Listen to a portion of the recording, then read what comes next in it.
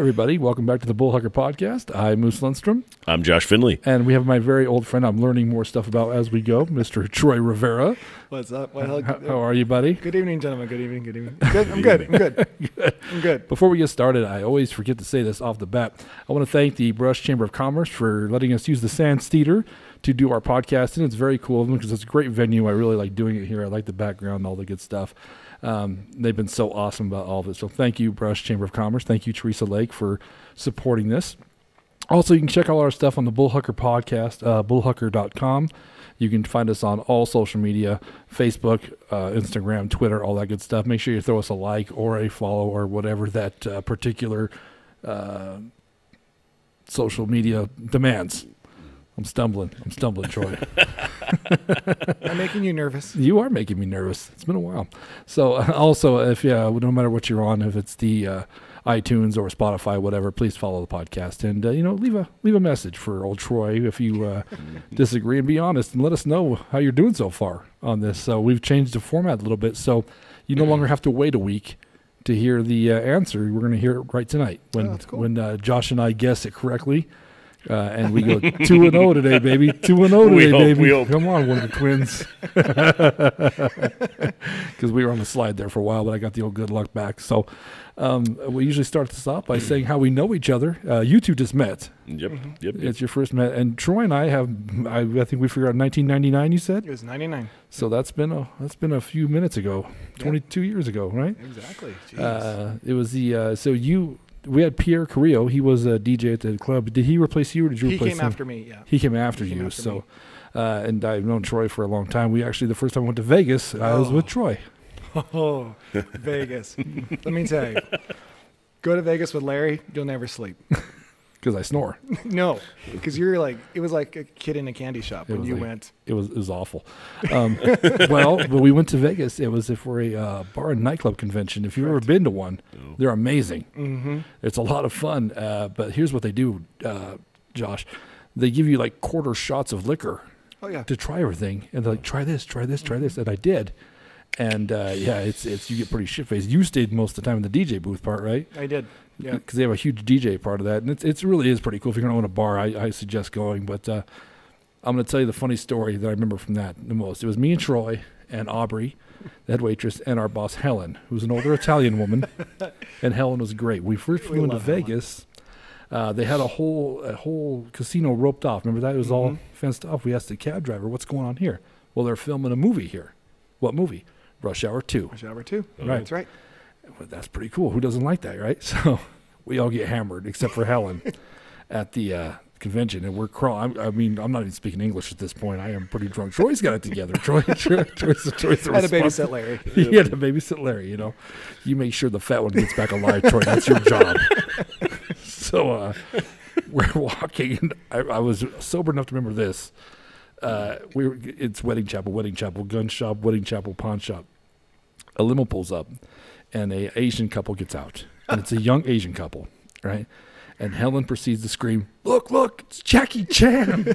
Oh my god. Yep. Helen, this guy's like a third of Jackie Chan's age, dude. He might not even be Chinese. I don't even think he's Asian. I don't know, you That know. was true. But remember the look they gave us, like, exactly. oh like my god, you remember that one. remember that? Mm-hmm. Yeah. So, Looks could kill and injure yourself. They gave that look. To oh us. my god, what was your best memory of that weekend? That whole oh my gosh, the one is I remember. There's a couple of them.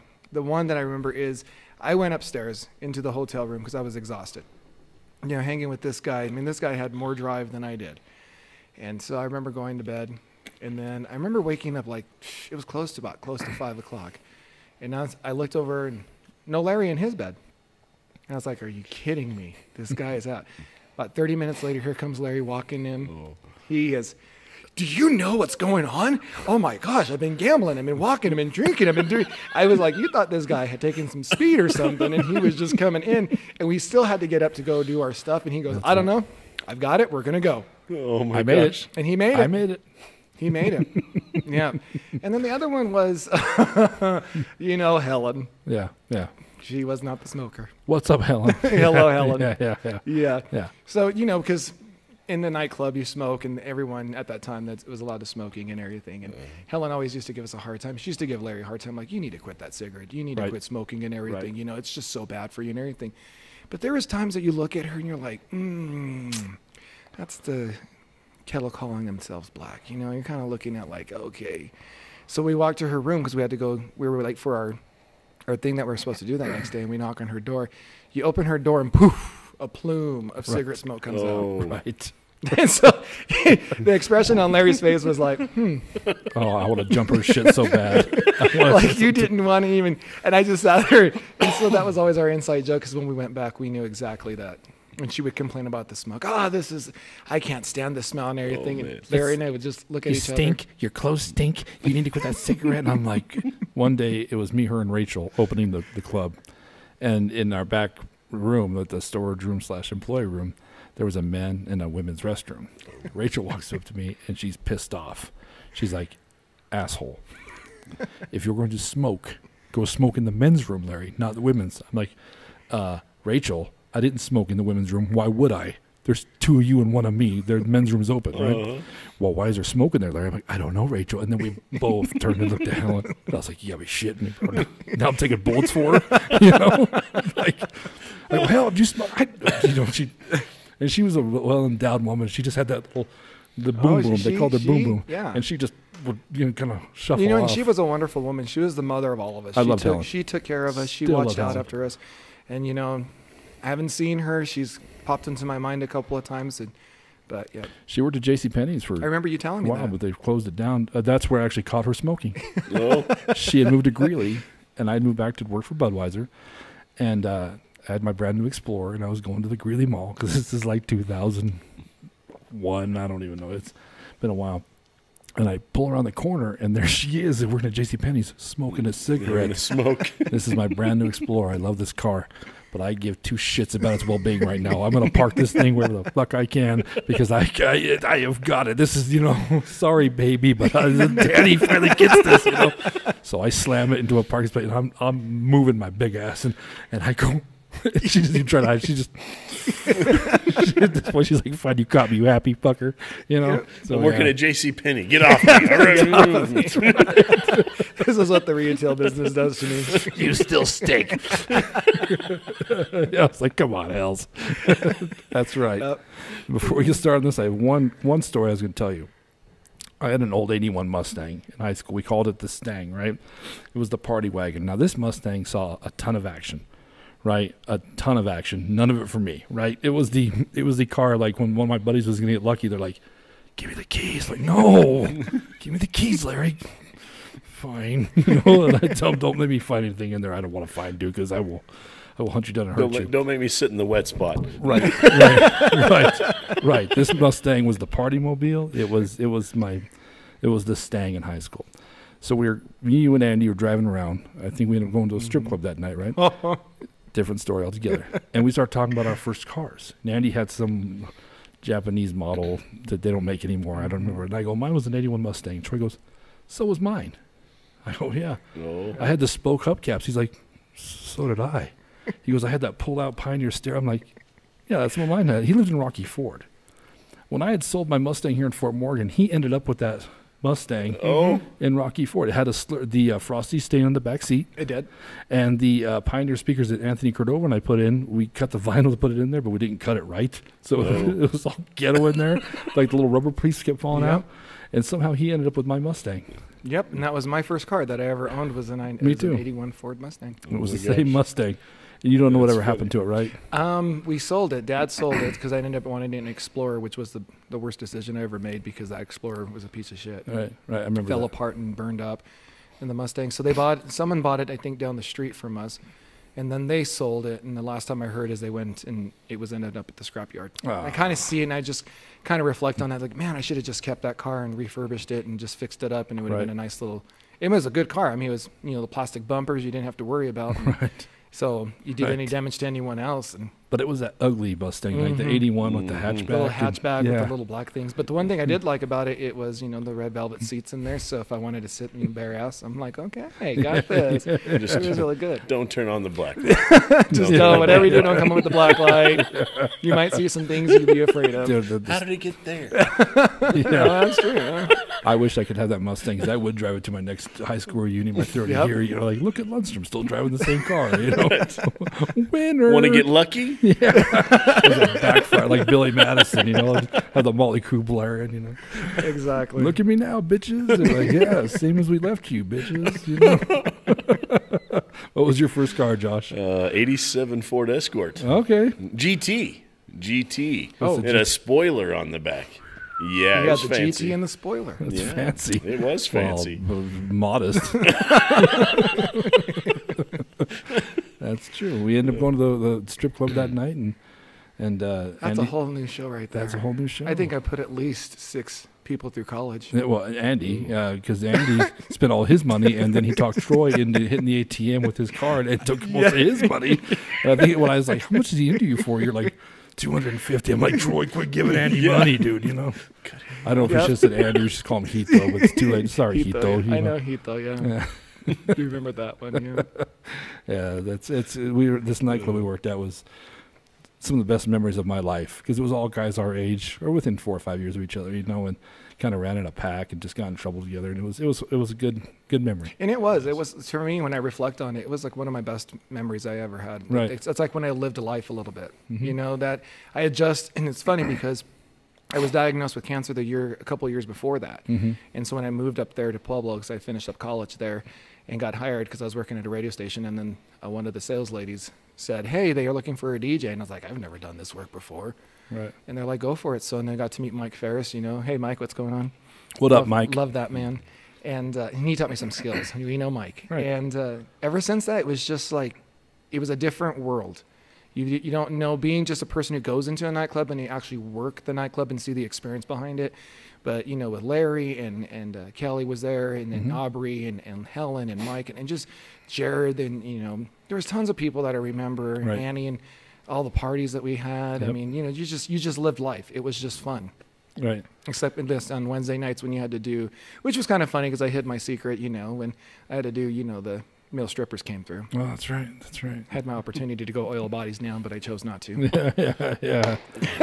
yeah, yeah. No, it's. Uh, I used to I hate. wanted to send Ron, you Yeah. know, the DJ assistant Ron. They're looking for an oil rubber downer. Go, buddy, go. What's up, Ron?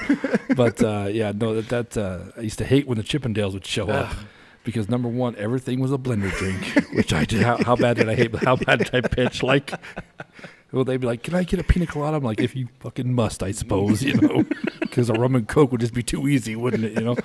But then uh, also the strippers would come up and get like their cranberry juice or whatever they're drinking, and they Mhm. tip you, and it'd be a sweaty dollar. And I'm like, you know what, man?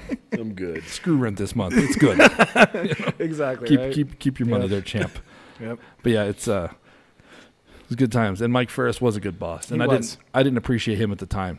Yeah, and, that, and I remember because I was watching when you were talking to Pierre. I Yeah. was like, you know, that's a true fact. At the time, when you we were working the business, you know, he was a strict boss. He was really Right. hard and challenging. But when you go back and I think about it, he taught me some skills about business Right. itself, how you approach things, and how the way he worked things. And you know, like at the time, I didn't appreciate him, but now I do. right, And I remember seeing him when I left and went back to Rocky Ford and lived there for a while. We used to go to um, Christmas. And we'd go up to do uh, the, the soup kitchen for Christmas morning. And when I walked in the, at the Union Depot in Pueblo, and who's working? Mike. Mike. I'll so it was it was nice to sit just sit down and catch up with the old times and everything and just and that's when I really I was like you know I, and I told him I appreciate you because you taught me some things that I never knew that I was capable of sure. and able to do so He's uh, part of the Chamber of Commerce. Last I heard in Pueblo too. He's pretty big on that. My buddy Tim was uh, head of the Pepsi program there, and he goes, "I know a guy who met you. Or a guy knows you. You know, I met a guy." I go, "Who's that?" He's all Mike Ferris. I go, "Everything he said is bullshit. Just let's keep that." Just so we know. Mike was a great boss, but he get he he drinks Stoli and water. yep right? Oh. And he'd like just just put a little Stoli, in. and I'm like, why don't I just make a thick one until you drinking 13 of these? You know what I mean? Like, let's, why mess around? You know, Yeah. keep him hydrated. But he'd get like this close to you, And he started talking like this. Hey, man, I'm very passionate about all this, and you need to do a better job. Okay, I'm like, you're my bubble dude. Okay, that's that's where we're at right now, you know. But he was a good boss. Oh, he come up to the DJ stand and like, you oh. need to pump it up. You need to get it going. And I'm like, Yeah. Mike, we're already there. Get them more packed on the dance floor. And then he'd see it overpacked. All right, kill the floor. I'm Yeah. like, you just told us 10 seconds to, to pack the dance floor. Well, my bars need to be hit. Go. Yeah, yeah, no, So- he, was, he was good.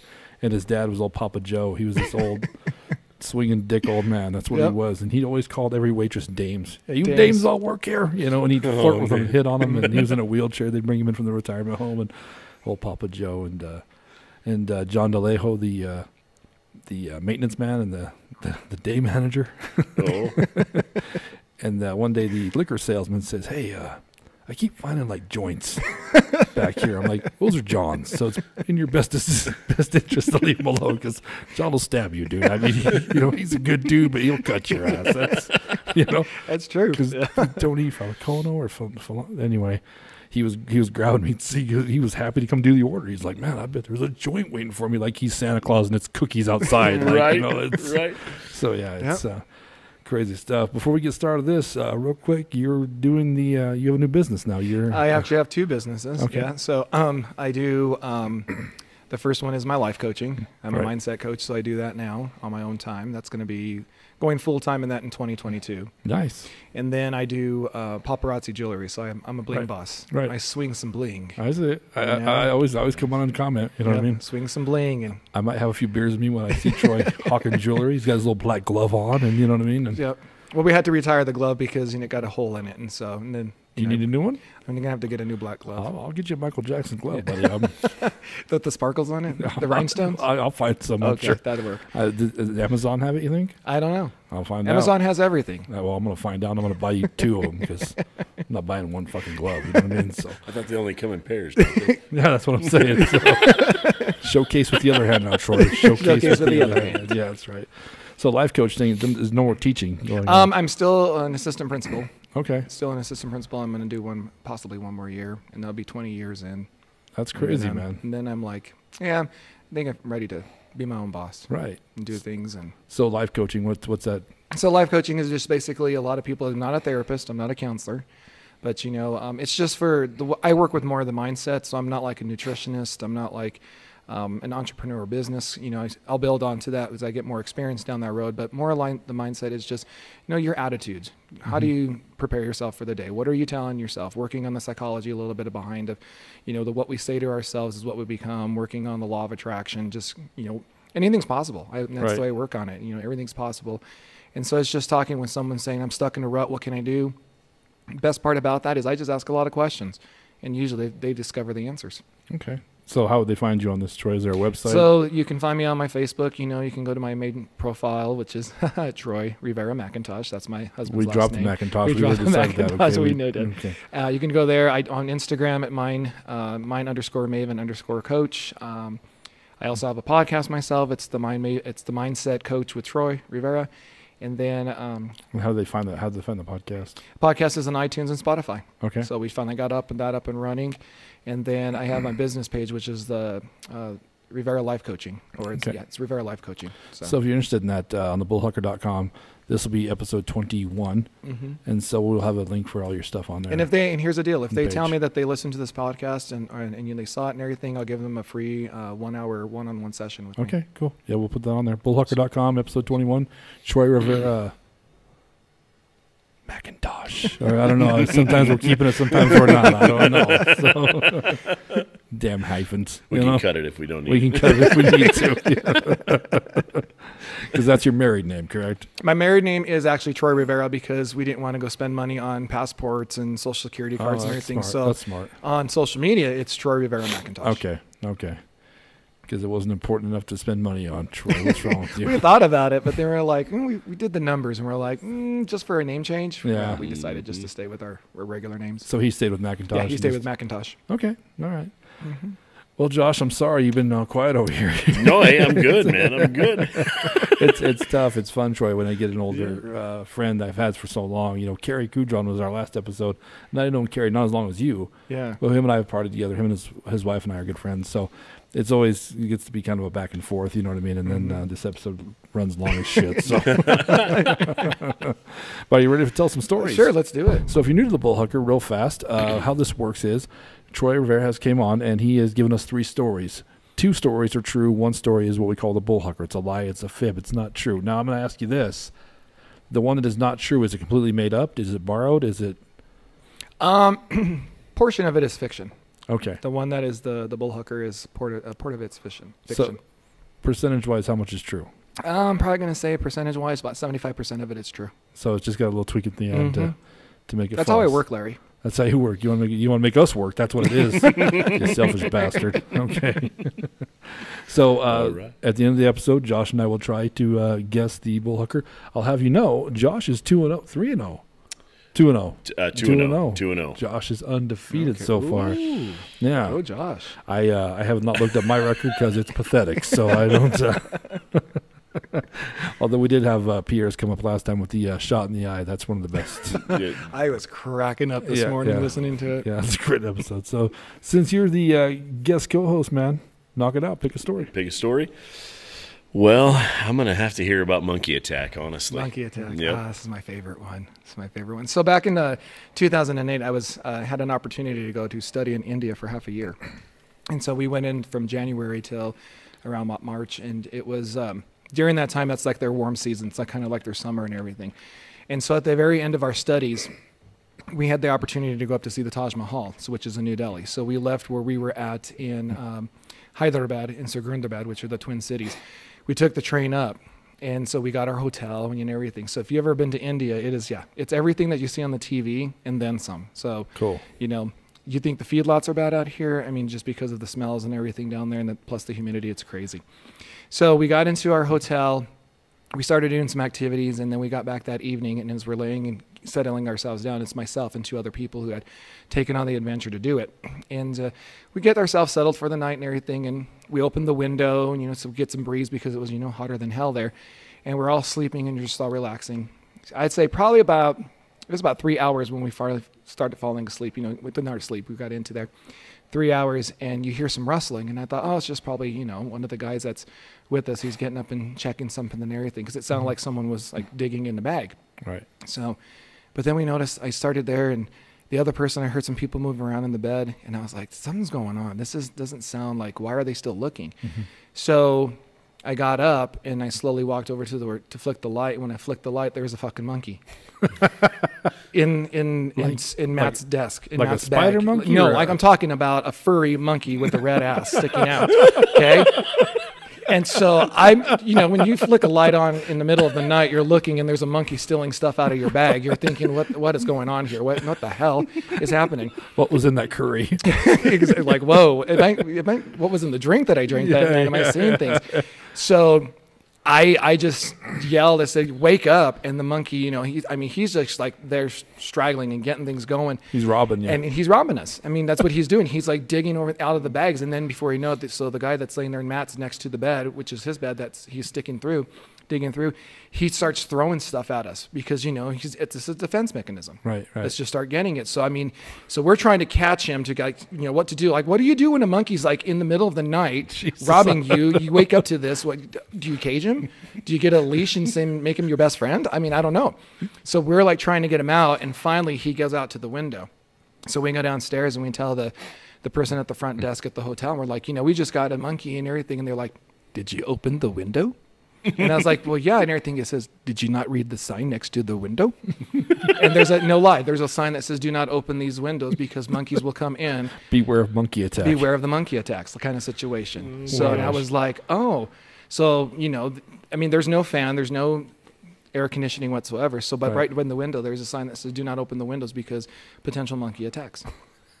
and we had our experience of one. You stupid Americans. That's free. And it's hard to talk to them because you're like, you're, you're sitting there processing, like, really, this is happening? Did they just tell us not to open the window because it's true? Because you see it when you go down to downtowns and when you're walking and you're going to the like the tourist place and everything, they tell you don't. If a monkey comes up and grabs your camera, just let the monkey take the camera, because they'll come in they'll come in groups after you. So if you go to chase one, they're going to follow you and they'll come in and they'll attack you. So they said, so if they take your four thousand dollar camera, well, you know, have fun.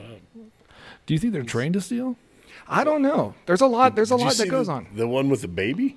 No. a couple of maybe a year ago, maybe not quite a year ago. Uh, it was a, a security footage, and this guy rolls up on a motorcycle, uh, drops the monkey off. The monkey rolls up to the table, grabs the baby, and starts dragging the baby down the street, like stealing the baby. and so I don't, you know, I would imagine. I mean, The Australians have a dingo ate my baby, and the Indians are like, they stole mine. So at least you know it's gone. You know, yeah, that was a crazy video, man. that's crazy. What do you think? I, I, I, I, I want to believe it for sure. That one I hope is true. Like you say that the, the ones that you hope is true, that one is the one I hope is true. There's always stories that I do hope are true. So last episode I got my wish, so it was a true Yep, story. yep. So um, I like it, but uh, it's always hard to guess on the first story. You got to have something to compare with. So uh, it's a good story though, Troy. It's a good story. I'm trying to remember if I ever heard of you going to India though. That was in 2008, so that was after I left. Yeah, we had we Peppers. Yeah, it's crazy. Okay, well, I ugh, Canadian winter storm is the story I want to hear next, Troy. All right, so Canadian winter storm. You think storms here in Colorado are like crazy, you know? So we went out for Christmas in 2017. I think it was 2017. We decided to go, and my mother-in-law and my husband, we decided to drive down to Windsor in Canada and to go visit some family. And we rented the car, you know, and they have this. They didn't have snow tires because I'm too cheap to put snow tires when I get a rental. Sure.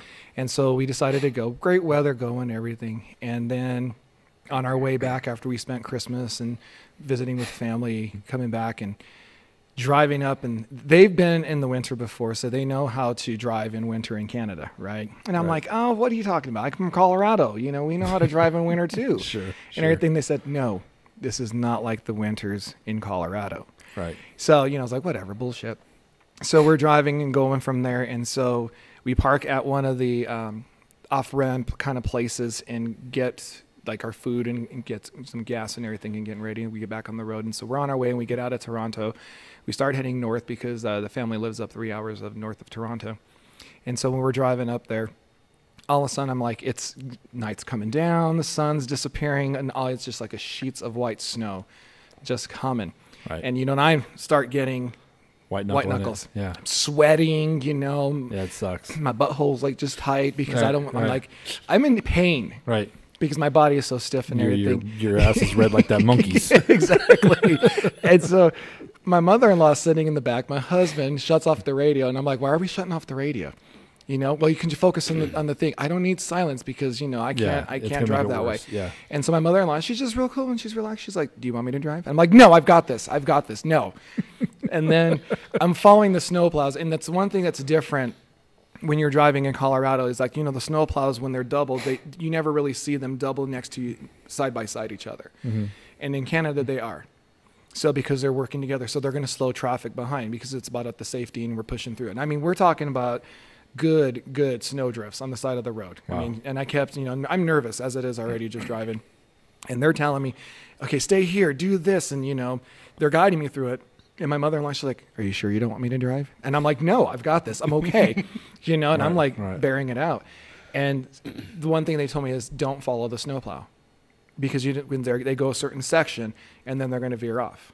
So here I am, and all of a sudden I'm just, you know, as like narrow driving Right. that I get, you know, and I'm paranoid. I'm trying to watch the road, and I already have bad eyesight as it is at night when I'm driving. I'm like this, just staring, going, and then you see me myself going like this, and they're like, "Where are you going?" I'm like, "I'm following the snowplow." They're like, "Don't follow the snowplow." I'm like, "I can't." It's like it's like you know, you're tuned in to just go with it because the thing is, is that where they turn off on, I have to get off the off ramp. The off ramp hasn't been cleared. Ah. You know, You're so horrible. I'm You're horrible. You're I am. at following advice. You don't I'm- read signs. you follow snowplow. I'm sorry. I've been told that. Yeah. I've been told that even on a regular daily basis. Yeah. Like, didn't you read the sign? Yeah. Oh, there's Yeah. a sign. I was supposed to read something. Yeah, yeah. Did she tell her son like your husband needs to become literate? That's gonna help. you guys are gonna be so much better in life if his ass learns how to read. You I'm just gonna And say been, that. yeah, it's about that's when you drive with me. It's always an adventure. So that was like the the one thing, and I always tell them that that's my bucket list. I told them because I kept they kept saying, "Why aren't you going to let us drive? We'll drive for you. We know how to, the conditions are. We'll take over." And I was like, "No, this is on my bucket list. I don't know why I'm saying this, but this is on my bucket list. And I'm going to be able to tell people that I had a I was able to drive in a Canadian winter storm." Right. Right. and we made it through. And I mean, I tell you, that day when I that evening we got home, what would have usually been about maybe a five hour drive took us about eight hours to get back to where Sure. we needed to be. Sure.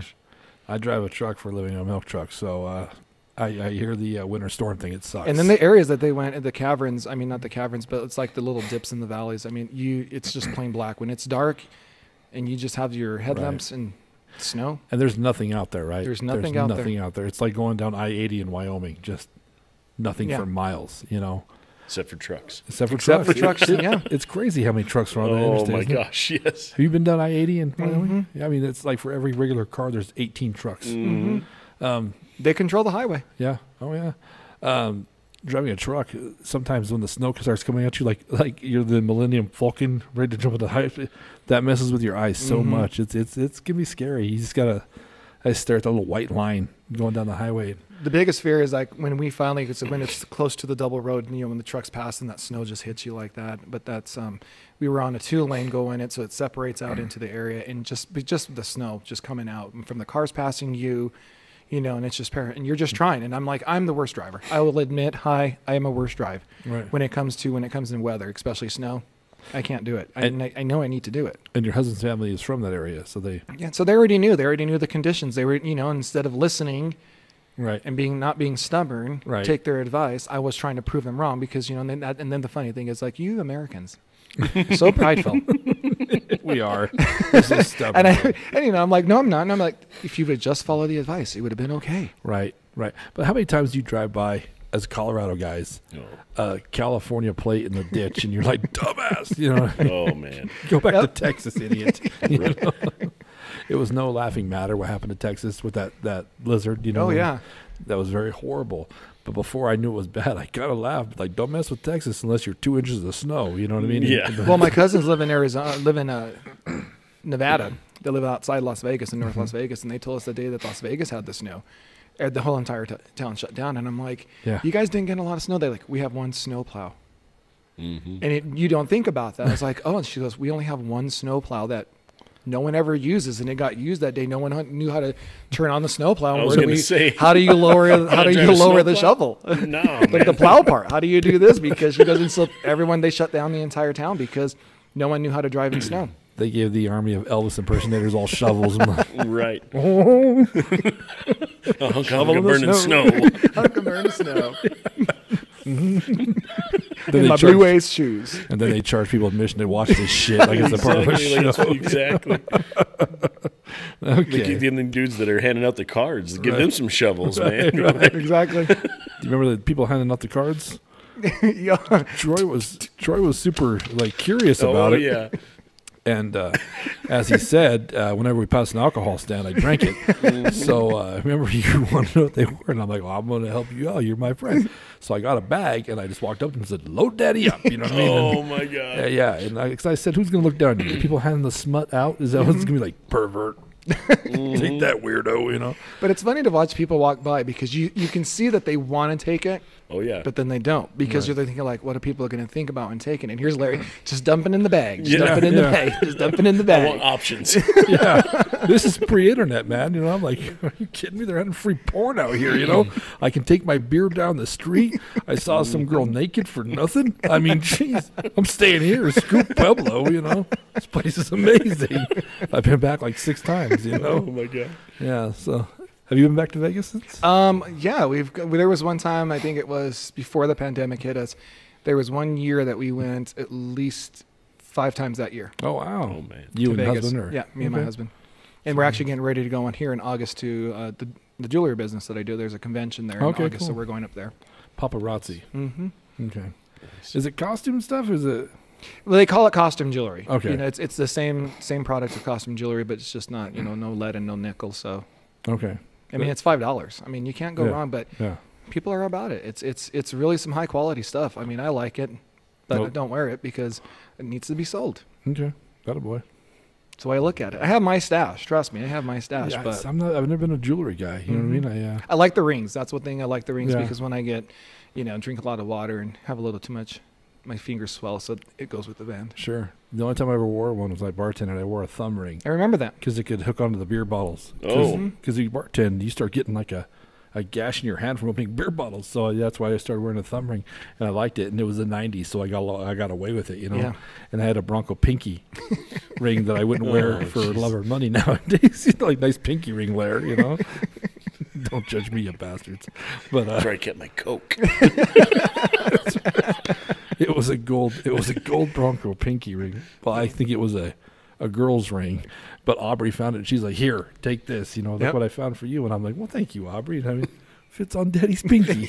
Just on- perfectly. It fits on Shrek's pinky, so that's where I'm gonna wear it. You know?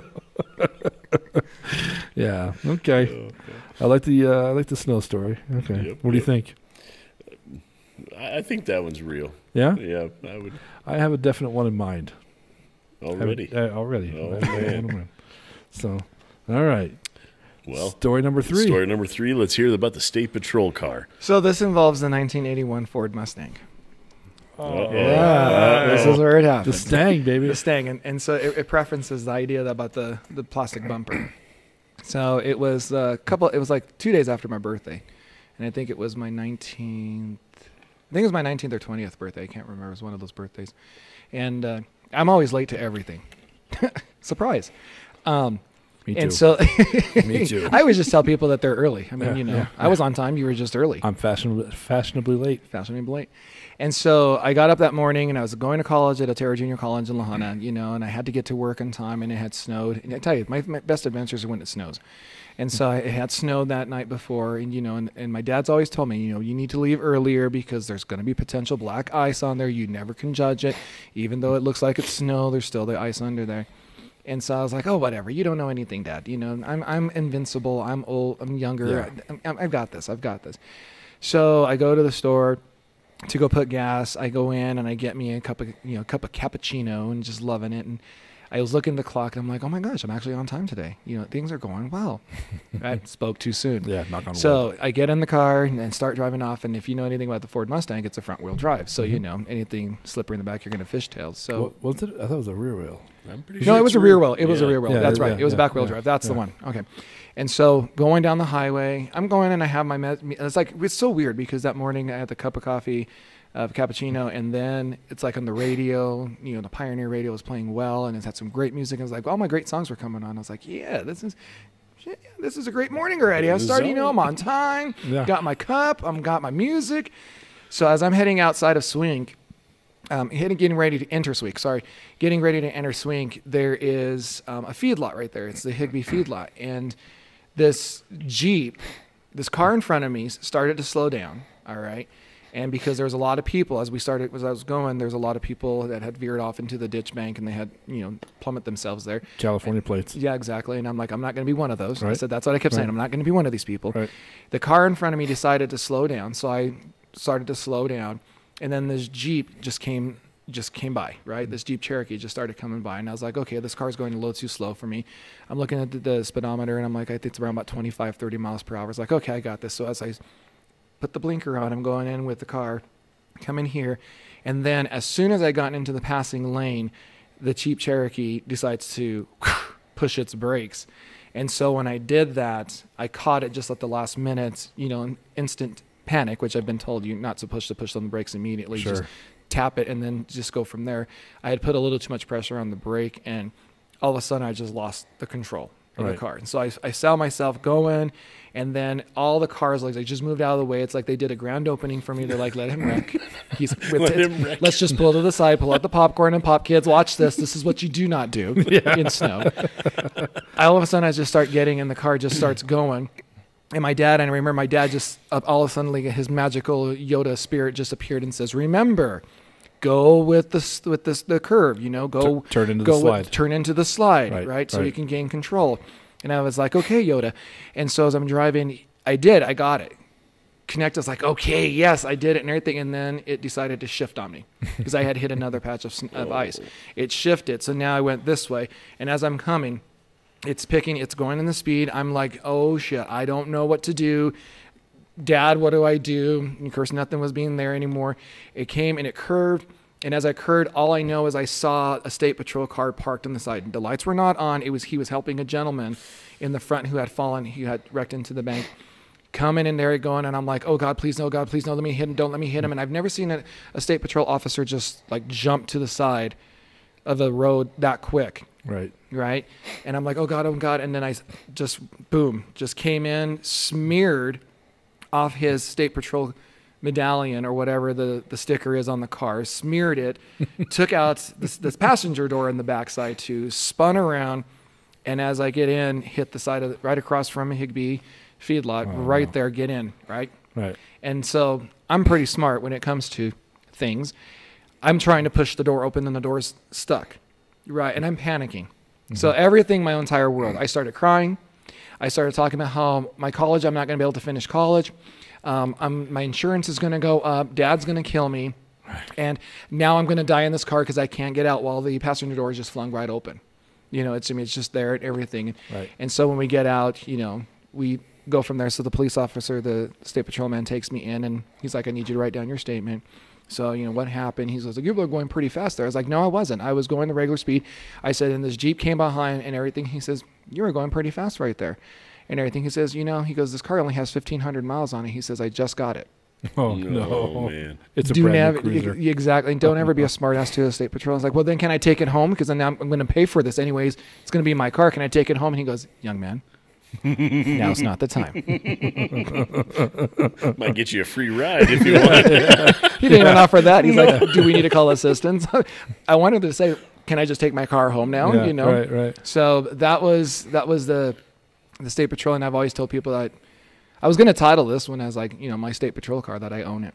Yeah. So you ended up paying for it. I ended up paying him, and he was a sergeant Oh, on wow. staff too. So oh, I hate to bring it to you. That's not the first time the Mustang's been wrecked. Okay. There's not a muffler on it we, for a we reason. Took, we took it home and not, not a single damage to it at all. really? Yep, didn't even. And where it hit in the front, it just scraped the bumper. But like I said, the bumper was plastic and it just didn't Yeah, scrape. it was it just fiberglass. it's that yeah. fiberglass and didn't damage it or anything.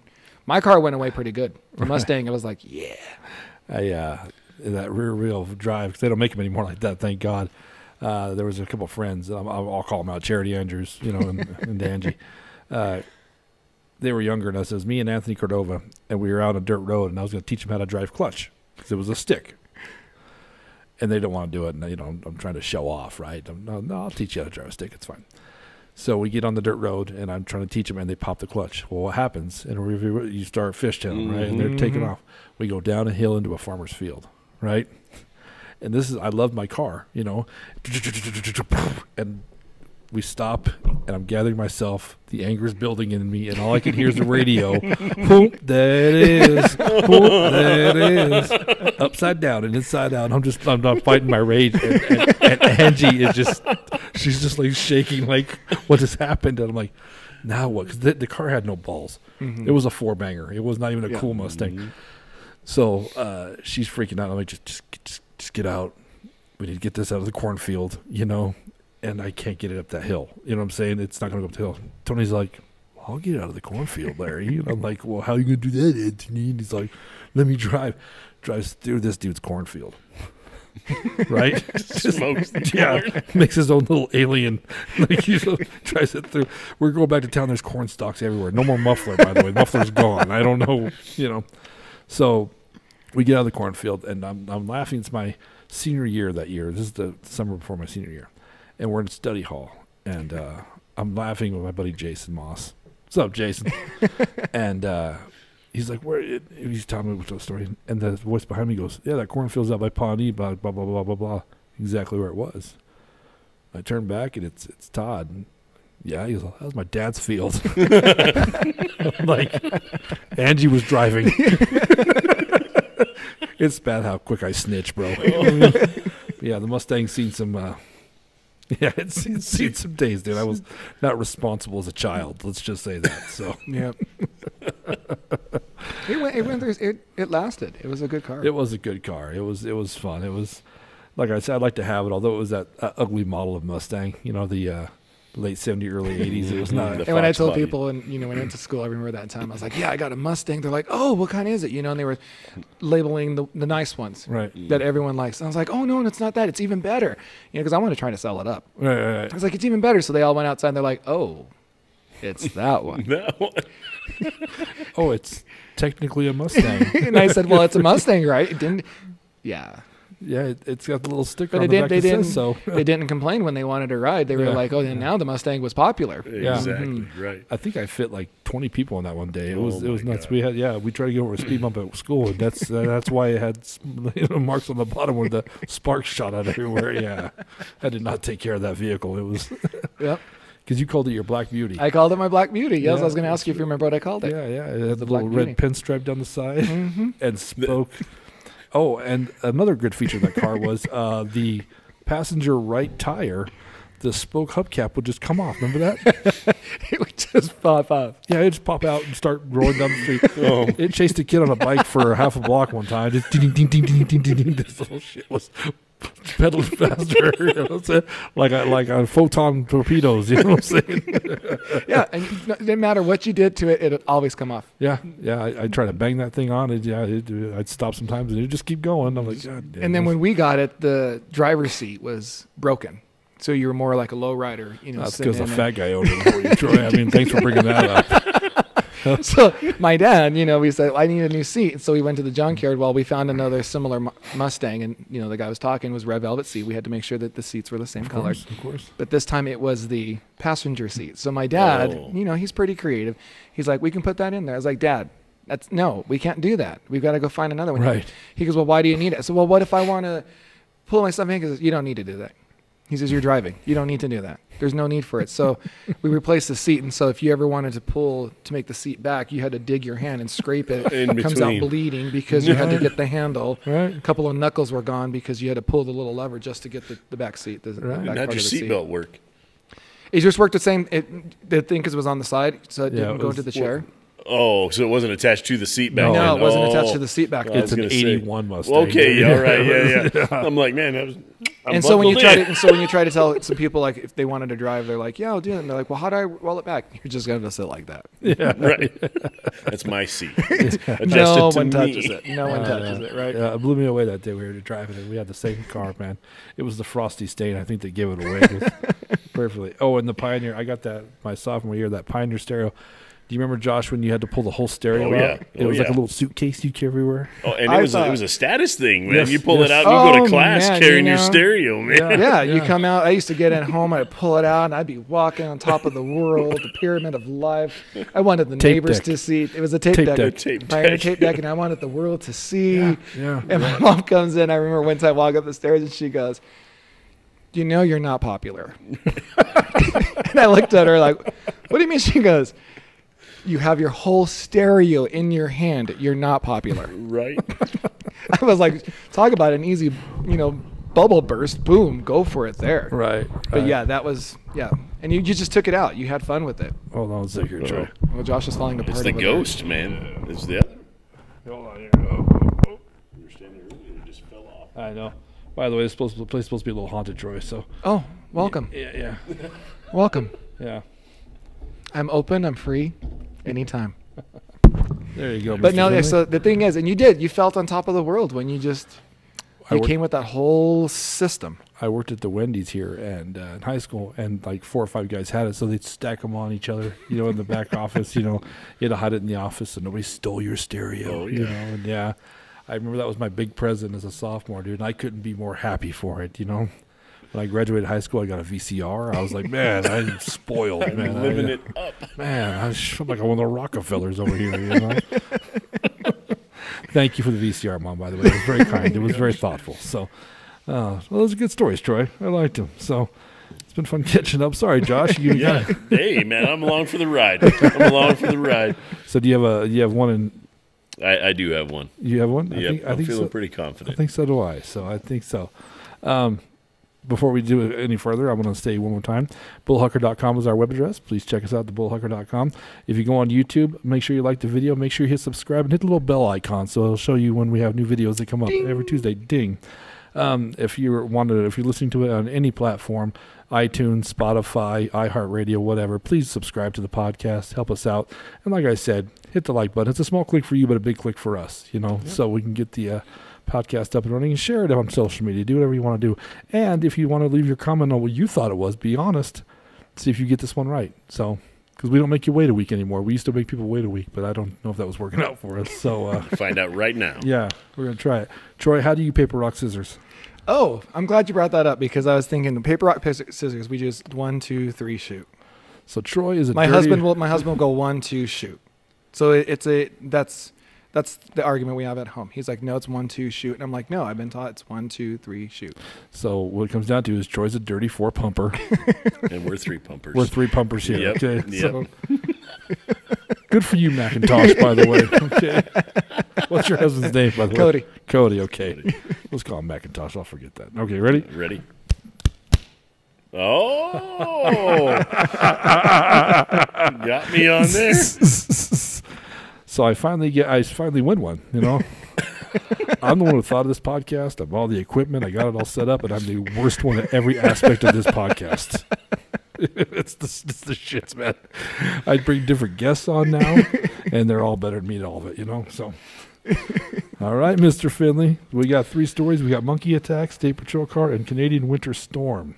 Yep. All right, what do you think? Well, I, I really want Monkey Attack to be real. That's the one I, I feel like Uh, yeah, that that's that's just something that, too good to be true almost, but it is true. I hope. Yeah. I hope. Um, Canadian winter storm. Uh, I, I would believe that. I would believe that. I know a couple Canadians that uh, probably would have loved to drive for you, so I could see that. But the uh, the the state patrol, I have to. I, I'm leaning to that one. I'm, I'm thinking that's the one, just because of, of the story of the Canadian patrol and how you were scared, and and that day, it's if you're scared, you're scared all the time. I think so. There's that day when you said everything's working good, my tunes are on, I'm feeling good. I have a that's that's where I think I caught you slipping. So I'm I'm hoping that's where I, I the the truth is in the details. So I'm going to go with the state patrol as the as the hucker. Okay, I like it. This is weird because uh, this doesn't happen very often, but I'm going to agree with you. No, Uh, I like the monkey attack. I hope it's true. If it's not true, I'll be sad. I, I like the, the idea of a red ass monkey uh, stealing my stuff. stealing you and just indignantly looking at you like, "What are you looking at?" You know what I'm saying? Oh, You sorry. left the window open. What Is this man? your deodorant? I'm sorry, it was your deodorant. Okay, I got a smelly ass monkey I got to live with. Uh, the Canadian winter storm. Yep, uh, short and sweet, but uh, I, I believe that. Uh, the reason I'm going to take the state patrol car is because we shared a Mustang, and when you lost control, you thought it was front wheel drive at first. I had to correct you on that, and. If you've ever had a rear wheel drive car, that's what you will notice. That's the first thing is you will slide. That thing was horrible in the winter. It was Oh, it horrible. was. it was any rear wheel drive. That's why they don't do them anymore. Do they? oh yeah. Do they do rear Oh, wheel? oh yeah. Oh yeah. Let's. Uh, uh, Explorer did it for actually the brand new Explorer just went back to rear wheel drive. Really? Mhm. Predominantly, they they do an all wheel drive. Yep. Stupid. That- that's the one thing I hate about that car. So I am going to take that one too. So either uh, Troy's going to kick both our asses, or Troy's going to be the third one we both beat. So Troy, whip that bad boy out. All right, you ready for this? Yep. oh attack. no! Oh no! Get out, Troy. the monkey attack. Damn it. I went with the thought process that that's a pretty outrageous story. So that was a that was a, the bait to go after. God damn. So, but you said part of it was true. Part of it was true. So, what part? The part of it, uh, the monkey coming in the window, was not true. Okay. But the because we did have a monkey that was outside knocking on the window because the windows were closed. So we, the thing is, when we got into the hotel, the gentleman told us, whatever you do, don't open your windows. We know it's hot right now because of the humidity and the seasons you're in, but please do not open the window. You'll see that there's a sign that says, "Do not open the windows," because in, in case beware of the monkeys. He said because if you open it up, even if you put a small crack on it, he says they're going to push it open and they're going to come in. So it was around like three o'clock in the morning when I heard just because I was right by the bed, the my bed was right by the window. You heard just tapping. And when you turn on the light and you open it, there's there's the monkey looking in because it's trying to get in because they just jump around everywhere and they're around the windows. How big is this monkey? Like pounds? We're talking about the monkeys around about this big, So it's Oh, four man. foot tall. so it's about four foot tall. no shit. And it's like I mean, you open the win- you open the curtain and you see it. It's just right there looking at, and it's like, you know, it's like, hey, I'm trying to get in. It's like, let me in. I, you know, you guys have some good stuff. You know, we want that. Everybody likes monkeys. And, and, it's, needs and, and the thing ring. and the truth is like the the signs right there. It says do not open the windows because you know beware of the monkeys because the guy told us downstairs. wow. So we can follow the rules. Yeah, you can't follow the rules. But then it makes you nervous. You're laying there like, Was it latched enough? And I'm by the bed, and if that thing gets in, whew, am I going to it- make it out? If it breaks the window, now it's got glass shards as a weapon. That's what I what, mean? exactly. That's what I'm thinking. What's what's a monkey? You know, not too much different than us and monkeys, dude. Although I Bust got- that window out. Well, I don't know, Josh. It was you and I in the hotel room, and that monkey breaks in, and I've been drinking. I'm like, I might fight that monkey, you know. I I got five on the monkey. Make it ten. I'm not a great fighter, you know. They have opposable thumbs and can climb very well. no, I'm good. I'm not fighting a monkey. I'd, I'd punch it right in the red ass to begin with. That's what the first thing I do, just to see what would happen, you know. Well, and this is this is something I heard on the Joe Rogan podcast. But I've heard when they attack, they actually go for genitals. That's Really? one thing that they because that's that's part of their dominance. So they want to They grab or punch. uh, grab and punch. I've heard. Yeah. So I wouldn't want that because No. if the monkey grabs me, now it feels bad for me too. It's like, oh, now I've been molested and beat up. and it's like, oh, oh, poor guy. You know, how pathetic is that? Uh, about Jack, I uh, brought up Papa Jack. He told me he talked about Vietnam every now and again, right? Mm-hmm. And he told me when his 18th birthday is when he got flown into Vietnam, parachuted into the jungle, and he got parachuted into a batch of spider monkeys. That's why I asked if he was a spider Oh. monkey. And I guess how they defend themselves is they shit in their hand and they throw it at you. so there's 18 year old Jack Roar landing in a parachute and just getting pelted with monkey shit. I, you try not to laugh at it, you know what I'm saying? But it, it, Jack was like as tall as that monkey, four foot tall. Uh, he looked like Yosemite Sam Yep. right? He had the, the big. He's the one I bought the, the sunbird from. We talked about on the Okay, last yeah, yeah. episode, Yep. And uh, he passed away. You know that. Yeah. Yeah, we lost Papa Jack. Do you know where he's buried? No, I do not. I'd like to find out. I'd go. He's the one that introduced me to Yukon Jack. No. Um, but yeah, Oh, he- Larry introduced me to uh, your favorite one was um, the wild turkey chased by was it something was chased by a wild turkey I can't remember it was oh, a drink and then the, three bastard sons chasing a there wild you turkey. go Yeah, yeah. yeah. and then the other drink that was my favorite was the dragon fire one that you the, made the dragon breath. the dragon breath I can't remember Yeah. what was in it. It was Everclear, Rumple Minze. No, no, 151 Rumple Minze, and there was something else. I don't know you always took me up when It was it would it, we said tell Troy I want to hear some ACDC in this in this mostly hip hop club. Dude. And then he taught me how to play music. So before we get started, I'd go to the DJ booth and then Helen would be like, Oh my god. Get this guy out of here. yeah. He's like a little Aerosmith and they're like, No. You know? Put some P. Diddy on you, weirdo. So exactly yeah, that's great. The Dragon's Breath. Uh, Mike McGret actually caught me on Facebook and asked me about the Dragon's Breath. hmm What's up, Mike McGret? I remember yeah, that one Yeah. that What's was your my favorite What was your drink as a as a youngster? Oh my gosh, uh, I I never did mix drinks very well. Uh, whiskey and me was never a good combination. So I, I'm gonna have to say Coors Light was probably still and is still my my drink of choice. You you were not a drinker Uh, I was a drinker. I just I didn't drink mixed drinks. It was it was beer. when I started that club. We got I'm gonna laughingly say this a shift drink. Most people got a shift drink. I took some people's shift drinks, and so anyway, uh, Jack was the first bartender I dealt with. I started as a waiter, Oh, a cocktail waiter, right? Uh, more cock than tail, I would tell people. Ha ha ha. Because I got a bunch of shit for it. But anyway, uh, he goes, "What do you want for your shift drink?" And I'm from a small town, like you said. I'll, I'll take a Bud Light, and a shot of vodka, you know, because that's what you drink. And he goes, "You want an oatmeal cookie?" And being the fat guy, I'm like, "Well, if you're, yeah, if we got one of those here too, that'd be fantastic. Shit, yeah, hook, hook, hook me up." And the Bud Light, you know.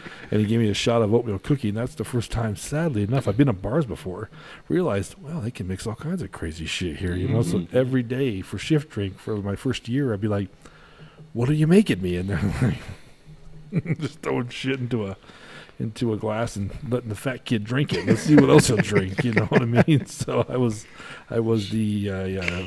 it was always fun when a Guinea new uh, a new what was there uh, the guys that helped you Barbacks. barbacks okay and when the new ones would come in this guy right here I used to get so excited because you see the initiation they had to drink the the bar mat Oh, that's right. oh no! all and No. everything. And I remember one time Larry you Mm. just poured one, and it was just filthy and dirty. And I was like, "Bring it! Let's let's see this happen." They're not the only ones trying. to lie. there was a waitress that came to the bar, and uh, some guy was being an asshole, just just a prick to be a prick. and she was almost in tears. And I was like, "Tell mom to buy him a shot." She looked at me like, "Are you serious?" I'm like, "You're damn right, I'm serious." So I took that mat. It's got curdled milk in it. It's got put a little. I put like a, a bar rag over it to filter it out. You know, because I'm not a whole monster. so I pour that thing in there, dude. And I'm like, and I give it to her, and she's like, "Yep, yep." So he liked it. He wanted more. You're dealing with a piece of shit. That's what because he he liked the bar shot, and we did that. And we used to tell people uh, when they look for something like it's in the basement. We keep all that stuff in the basement. There was no basement. And everybody in that club would like, "Where's the basement?" Like, "Oh, it's over." there." It's like the bikes at the Alamo in the basement. Yeah, yeah, yeah. We'd uh, we'd be real vague, like, "Oh, it's it's, it's uh, the door back over," and people would we'd sit there, and it wasn't a huge place. Yeah. we'd sit there and watch poor people walk around, and you know, dude. One more quick story. Except none. Uh, Joe was a bouncer there. He looked like Tony Soprano. Who was that? Remember Joe? I remember Joe. Yes. Joe was drinking as a bouncer heavily one night, getting hammered. Helen, and when you went to the DJ booth, you had to go up a. It was like on a big stage, so there was two stairs, right? And Helen would always sit on top of the stairs and watch the Mhm. club, right? Joe was just shit faced. So Joe was gonna go walk up the DJ booth. It's in the night. He trips on the stairs, and on the way down, grabs Helen's pants. Just Oh, grabs them. And were you there for that? I don't think I was. He falls and he grabs. He just grabs. doesn't mean to grab, grabs her and pantses her oh no. pants is Helen. right. so he sits down at the bar and he's sad. And I'm like, you passed Helen, dude. You're gonna, dude. I, we saw a side of Helen. You know, like, you know. What I'm saying? So you're, yeah, you're fired, dude. You might as well go. What are you waiting for? What do you? What do you want? The abuse and the firing? God, just leave, dude. So yeah, I can't remember Joe's last name, but I'll never forget Oh, that. She was the look on her face was pure rage. She had that Italian anger, man. Mhm. That When she got mad, she got mad. You were you were afraid. yeah, yeah. She'd freak out on you, man. But yeah, he pantsed her. That's hilarious. It's like, man, that's ballsy, dude. That's wow. So, well, man, we got beat again. Well, 50-50 tonight. 50 50 for you. I mean, I'm batting like 110. You know, it's not it's not good. I'm under 200 for sure. But uh, last episode, we both got it right. This episode, Mhm. both got it good. Troy, I did not see that coming. I thought that monkey was for sure real. Me too. I that's uh, you said it with my story that uh, you know you hoped it was real. That was mine. I was hoping that one was real. that's good stuff right there. Uh, Congratulations, you Well, thank you. Thank you. Once again, bullhucker.com. You can check all our stuff. And I'll have all Troy's information on this webpage. So you can check that out. And you said you're going to give an offer to somebody. Yes, uh, they s- mention that they reach out to me and they mention that they listen to this, and you know, I'll give them a free one hour, one on one coaching session. Sounds good, man. Awesome. awesome. Thank you so much, Trevor, for doing this. It's good to see you it was too, good man. to see. You. I was excited. I was driving up here and late like the usual, and I was going to try to make up an excuse because I always do, but then I feel bad if I tell a lie. So. Yeah, well, I would have believed you anyway. I'm saying. Obviously, we cou- we couldn't tell. yeah, obviously you go. Uh, thank you, and Josh, thanks for sitting in again, man. I'm glad to be here. Thank you for yeah, having it's me. awesome to see Yeah. you. So, uh, anyway, thanks so much. I'm Moose Lundstrom. I'm Josh Finley. I'm Troy Rivera. See you guys. Peace. Peace.